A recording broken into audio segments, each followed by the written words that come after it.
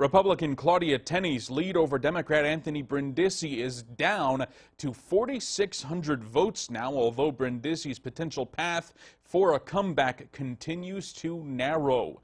According to our tabulation, Brindisi has added 30, over 35,000 votes since election night compared to Tenney's just over 11,000.